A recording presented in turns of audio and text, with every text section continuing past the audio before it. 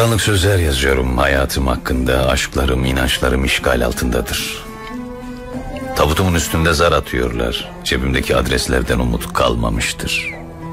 Toprağa söküldüğüm zaman çapa vuran adamlar Denize yaklaşınca kumlar ve çakıl taşları Geçmiş günlerimi aşağılamaktadır.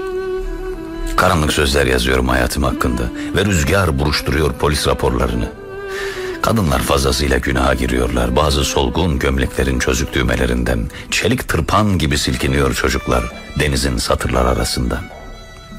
Gece arsızca kükrüyor paslı beyninde şehrin. Küfre yaklaştıkça inancım artıyor benim.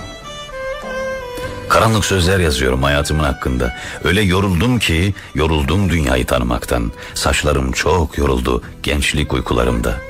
Acılar çekebilecek yaşa geldiğim zaman acıyla uğraşacak yerlerimi yok ettim. Ve şimdi birçok sayfasını atlayarak bitirdiğim kitabın başından başlayabilirim. Başlayabilirim.